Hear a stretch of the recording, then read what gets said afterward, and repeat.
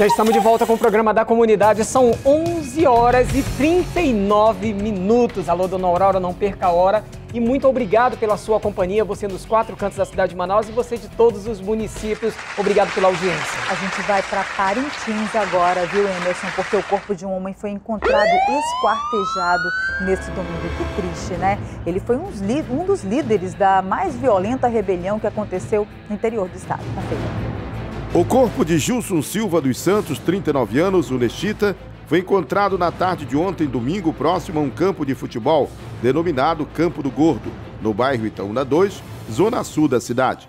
O corpo estava sem roupa. Ele foi decapitado e teve as duas pernas e um braço cortados. O corpo de Gilson Lopes, o foi encontrado por um garoto na tarde de ontem neste local. O corpo estava coberto por um carrinho de mão.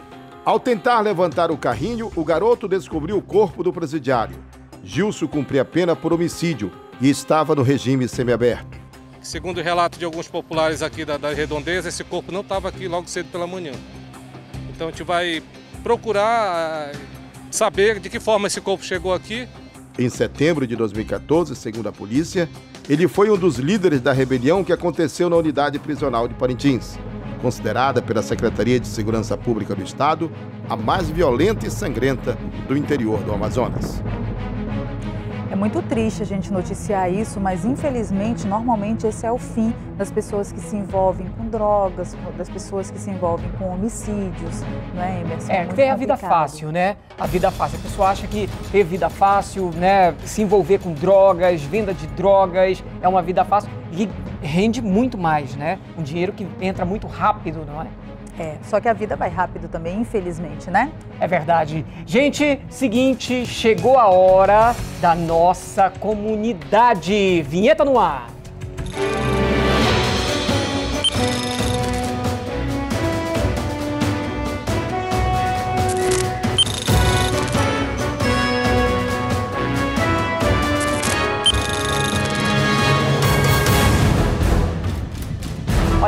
Está em casa pode mandar denúncia para gente, pode mandar vídeo do seu bairro mostrando a sua rua, mostrando a falta d'água, mostrando o problema na energia elétrica, mostrando os buracos, os bueiros abertos, telefone um na tela. Interativo, né? é um repórter interativo porque a gente mostra tudo aqui no programa da comunidade ao vivo e a gente vai atrás da solução. 3307-3951, 3307-3952. Hoje a gente vai para onde?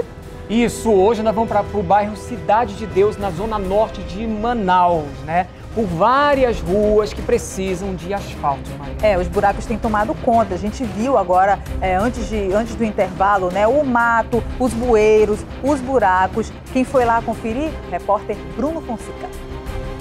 Essa é a Rua São Francisco, a outra Nossa Senhora de Aparecida. Andar por elas é quase impossível. Aqui na Rua São Francisco é quase que impossível um carro subir vindo aqui da Nossa Senhora de Aparecida, que é uma das avenidas aqui do bairro da Cidade de Deus. Olha só essa estrutura aqui, ó. Aqui poderia ser, né, uma, uma vala, né, para poder subir aqui qualquer carro ou ônibus. O Radisson foi que procurou a nossa equipe de reportagem. Radisson, a Rua São Francisco ela tá assim, né? Com uma estrutura ruim, carro aqui não desce e nem sobe, muito menos ônibus. Sim, é desse jeito que há muito tempo anda assim a nossa rua. É, devido quando a prefeitura vem, ela sempre conserta somente a, a principal, nunca olha as ruas que tem pelo bairro. E durante os dois anos, talvez até mais, anda formando esses buracos. E com a chuva forma cada vez mais e piora cada vez a situação. Olha só como o Raiz está falando aqui, né? A gente vê aqui, ó, que realmente é impossível um carro entrar aqui. E a Rua São Francisco, ela, ela parte dela, ela dá o acesso, né, para a Avenida nossa Senhora de Aparecida e para outra avenida aqui da, da Cidade de Deus, né? Que é a Nossa Senhora de Conceição. Segundo os moradores, a Rua São Francisco está assim há dois anos. Eles já procuraram a secretaria responsável e até agora nada. É buraco ali, buraco ali, buraco ali, entendeu? E fica difícil, entendeu? Sobreviver com esses buracos aqui, segurança. Difícil, né? Difícil, mano. É, mas não são só essas duas ruas que precisam de reparos. A São Mateus, também no Cidade de Deus, sofre com os buracos. E o inverno chegou, né? E cada vez mais os buracos estão se expandindo, né? E eu queria que a autoridade competente aí, né, pelasse pela gente aí, porque a Cidade de Deus também está precisando, não é só as avenidas não, as ruas também, as paralelas. O prefeito também ele só vê as avenidas. Cadê as ruas? Olha, a gente vai conversar agora aqui com o motorista desse ônibus. Tudo bem? Como é que é o seu nome? É Raimundo. Seu Raimundo, a gente está vendo aí que a rua é complicada, né? O que danifica os ônibus. É, fica difícil, né? Não só para o ônibus, mas também para a coluna do motorista, dos passageiros, né?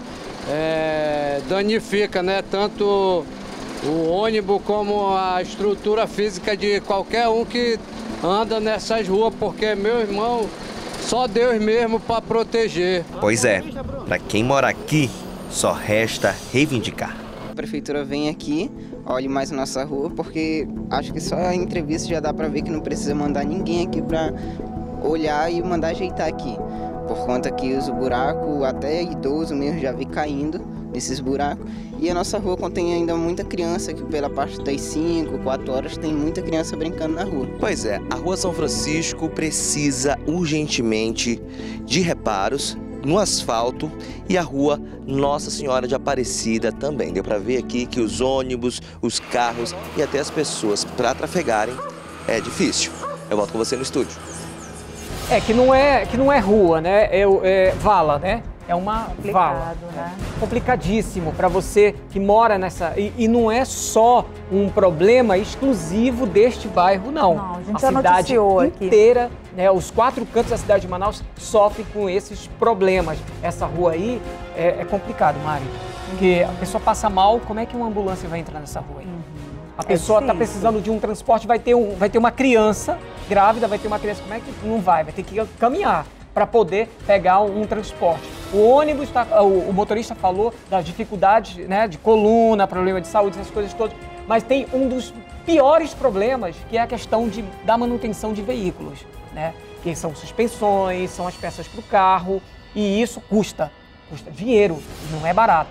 Então, assim, tenho certeza absoluta que quem mora nessa rua, quem mora nessa redondeza, sofre com esse problema aí que esse motorista falou e sofre mesmo, né? Que tem todo mês ou a cada seis meses tirar o dinheiro do bolso para comprar as peças de um automóvel para poder seguir com o seu carro, senão a condição não, não, não acontece. né? Manutenção do veículo e a questão da, da cidadania, né, é, Emerson? Você morar num lugar desse, você sai do trabalho, às vezes, muitas vezes um dia inteiro é, de trabalho cansativo, chegar em casa é, e ter essa dificuldade até para chegar em casa num dia de chuva, você vê ali lodo na rua por, por conta do esgoto, é lixo, é mato, é buraco, entendeu? Você tem dificuldade de chegar na sua própria casa. Mas a gente entrou em contato com a Secretaria Municipal de Infraestrutura, a CEMIF, a CEMIF, que informou para gente que está atualmente com serviços de tapa-buracos e também preparação de base com pedra rachão na rua Internacional, do bairro Cidade de Deus.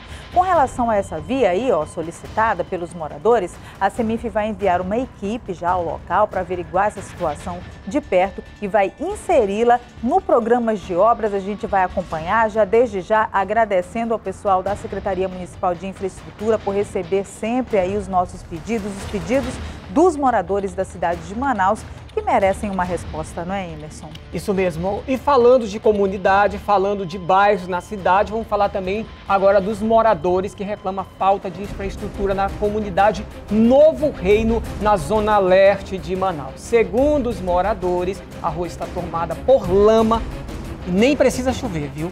Não precisa chover e para ficar ruim a situação por lá. E a Priscila Gama traz mais detalhes para a gente desse caso.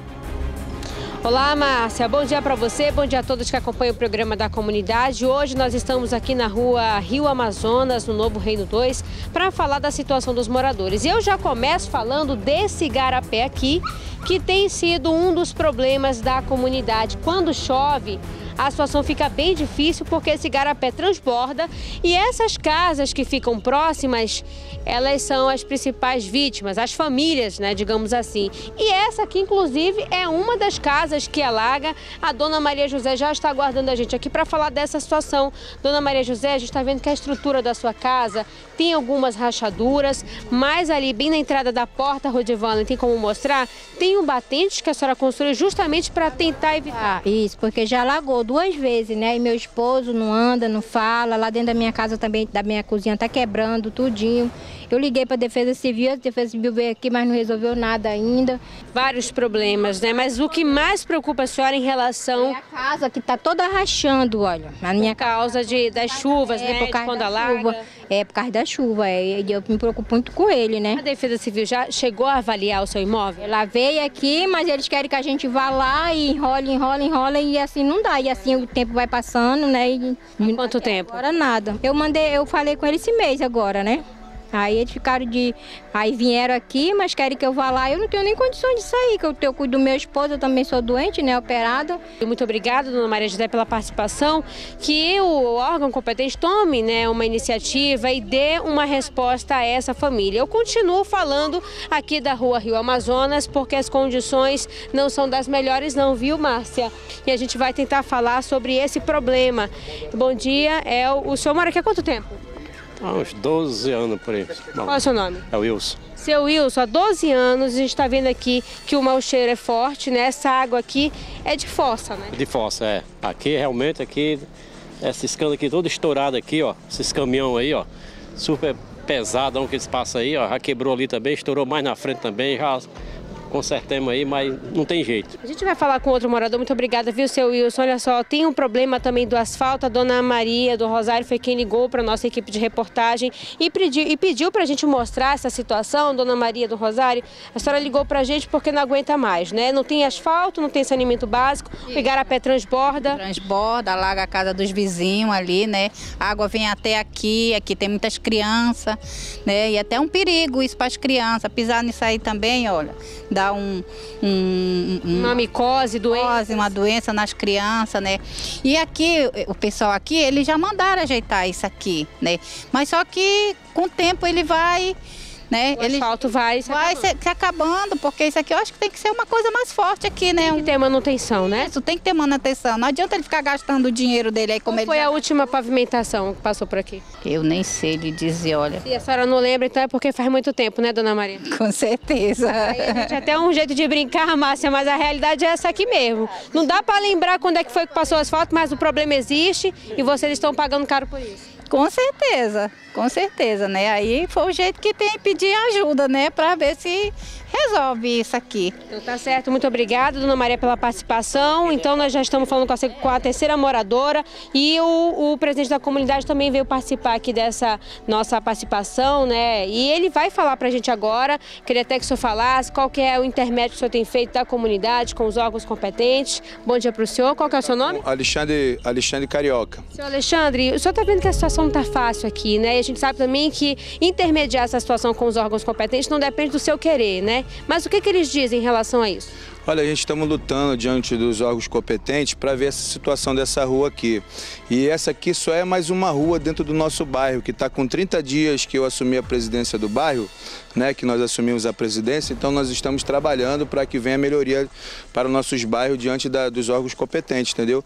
Então isso aqui ó, é um, esgoto a céu aberto, como você pode já, já mostrou, já definiu, um esgoto a céu aberto onde as crianças ficam brincando, entendeu? Então é, isso aqui pode trazer consequências graves para as crianças, não só para as crianças, mas para os moradores também, entendeu? Tá certo, então muito obrigada, seu Alexandre. A comunidade, como vocês estão vendo, se reuniu para falar desses problemas que tem sido né, realmente prejudicial à vida da quali qualidade de vida das famílias que vivem aqui. Muitas crianças aqui que, que convivem nessa situação. Então, se a gente for realmente analisar essa situação, é, são problemas que não só afetam a qualidade de vida desses moradores, como também a saúde, né? Crianças que pisam nessa água suja, que precisam ter contato com uma série de bactérias, porque isso realmente é uma água que tem um cheiro forte, muita criança aqui perto. Quando chove, alaga, não tem asfalto e os moradores pagam impostos, eles pagam energia, pagam água. Então, quer dizer,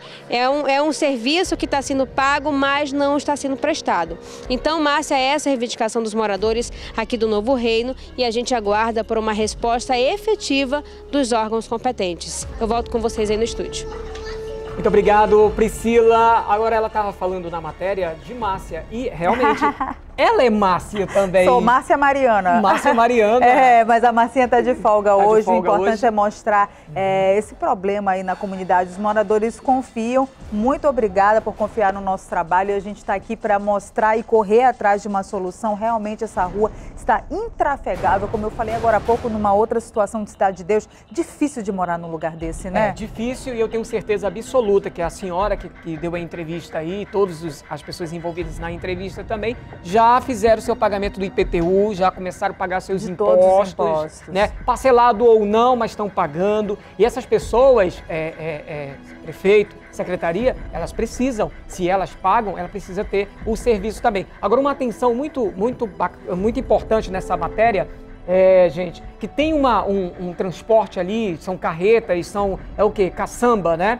É, o, o- o proprietário ali da- daquele terreno, ele tem também que dar uma reforçada também, porque senão vai acabar com a rua também, né? A gente tem que ser né, bem claro com toda a informação. Vi, vi caçambas ali também, é, dá uma reforçada, pelo menos na entrada ali, onde as caçambas têm um acesso também, para não destruir a rua aí dos moradores, da população. A né? gente É foi, complicado. a gente falou sobre esse problema também com a Secretaria Municipal de Infraestru- Infraestrutura, Emerson, que recebeu a gente sempre muito bem. Obrigada aí ao secretário né, e vice-prefeito Marcos Rota. Bom, é, os buracos na rua Santiago, no bairro Nova Vitória, é, a via solicitada aí na reportagem vai ser também inserida no cronograma de obras. O pessoal lá da Semif prometeu para gente que vai lá eh, no local averiguar essa situação para começar a mudar né, essa realidade dos moradores, né, Emerson? Que bom, muito obrigada à Semif, que sempre atende ao programa agora aí, as comunidades aí, nesse caso do Novo Reino. Obrigada aí. É, a gente se sente muito feliz por fazer essa ponte, né? Por fazer essa intermediação entre os moradores e a secretaria, que está sempre é, de bem aí, sempre disposta a receber as denúncias dos moradores e a solucionar os problemas, que é o mais importante. E esse é o nosso papel. Esse é o papel, quando foi criado o programa da comunidade, foi para isso mesmo: chegar perto da população, trazer os problemas da população e tentar resolvê-los mediante a comunicação, mediante as imagens né, e as matérias levadas às secretarias. Então, quero agradecer de coração, né, Mari? Agradecer toda a população que assiste a nossa programação e continue fazendo a sua denúncia, continue participando, mandando seu vídeo, mandando sua foto para interagir com a gente também. Os problemas que não são poucos, Não são, Mari, os infelizmente. problemas da nossa cidade. né? Tem agora premiada? Tem agora premiado, mudando de assunto. Chega comigo aqui, Valfran. Hoje nós estamos com o Internacional Valfran, né? Que o Valfran, ele sempre está em São Paulo, né? Na realidade, o Valfran é amigo pessoal de Silvio Santos. Isso mesmo. Eu tenho um sobrenome Santos, né? Mas eu não sou da família Silvio Santos, senão eu estaria em São Paulo, né, Marquise? Estaria lá em São Paulo, que nem o meu amigo Dudu Camargo. Gente, seguinte, hoje tem o Agora Premiado, né? Quem que não quer ganhar esse kit? Agora, deixa eu só falar uma coisa pra vocês. Além das maquiagens aqui, nós temos esse perfume. Ah, Olha, a Giane arrebentou hoje, viu? Tem esse perfume. Nós temos aí as sombras, um copo. A Mari já ficou de olho, viu, Giane? Manda pra ela, viu? um copo aí de unicórnio. Você gosta de unicórnio, né, Mari? Eu gosto, tá Você na gosta, moda. Né? Tá na moda, né? Tá super na moda o unicórnio. Olha, eu queria ganhar um copinho desse de Tem unicórnio. Eu sei que a Giane vai mandar pra lindíssimos. mim. Eu fui na loja, tem uns copos mesmo lindos. Esse kit tá show, né, Emerson? Tá, e tem até uma máscara capilar também, aquela de, de maionese, né? Ah, que as pessoas pensam que é até de comer. Não é não, gente. É uma máscara capilar, que é ótima e excelente. Quer ganhar esse kit? É só ligar hoje para o nosso telefone 3307-3950, 3307-3950. Não diga alô, diga é, importadora Três Elefantes, né? E aí? O novo conceito de maquiagem. Eu sei que você assiste a programação toda semana e você sabe a senha, mas eu vou repetir. Importadora Três Elefantes, um novo conceito em maquiagem. Mari, com você. Olha, a gente vai chamar o intervalo comercial agora, 11 horas e 58 minutos, porque daqui a pouco tem a Ronda Policial. Ricardinho já bota a sirene aí pra gente. Olha aí, gente, daqui a pouco a gente vai contar as histórias aí pra vocês sobre esses meninos aí, sobre essas imagens que vocês veem na tela do programa agora. É já já.